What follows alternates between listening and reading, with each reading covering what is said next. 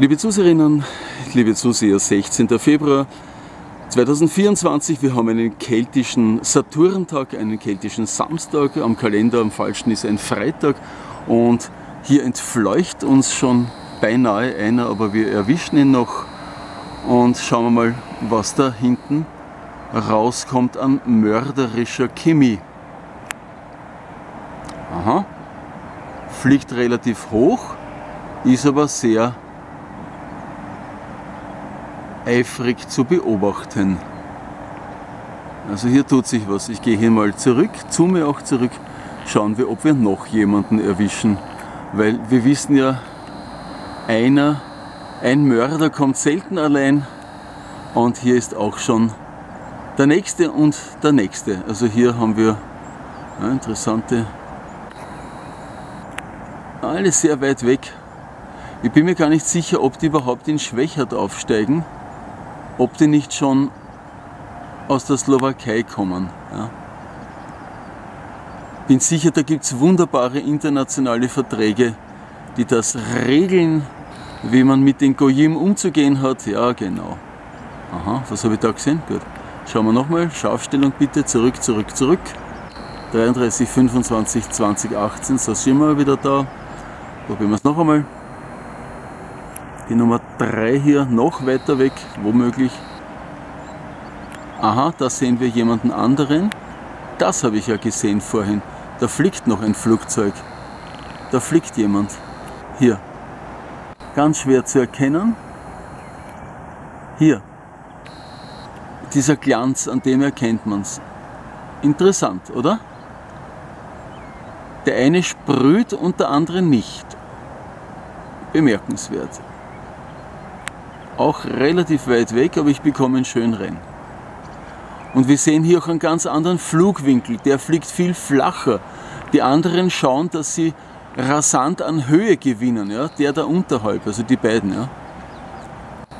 Schauen wir, dass wir den nochmal reinbekommen. Ah, das gelingt nicht. Und ich schaue, dass ich nochmal den Flieger da finde, den ich vorhin da im Visier hatte. Schauen wir mal. Ich habe ihn ein bisschen aus den Augen verloren.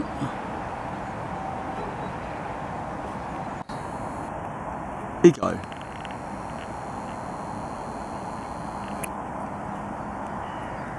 Ich beobachte mal so über ein Fotoapparat. Ja, tut sich heute einiges. Tut sich einiges. Ich schaue noch mal, ob wir noch einen Aufsteiger finden.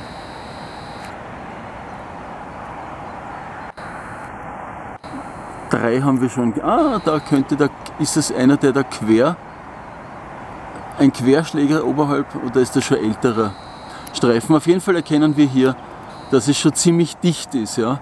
Was man mit normalem freien Auge quasi nur als Nebelschwaden wahrnehmen würde, weil wir hatten Eis, das kann ich hier, würde ich sagen, schön belegen. Also wir haben hier Eiskristalle am Dach und ja, es hat Minusgrade gehabt. Und man kann das mit Nebelschwaden durchaus verwechseln, aber das sind keine Nebelschwaden. Aha, jetzt habe ich den Flieger drauf. Den haben wir vorhin halt aus dem Auge verloren. Das ist er. Und der fliegt relativ flach. Ja. Schwer reinzukriegen, weil ich einen blöden Winkel habe.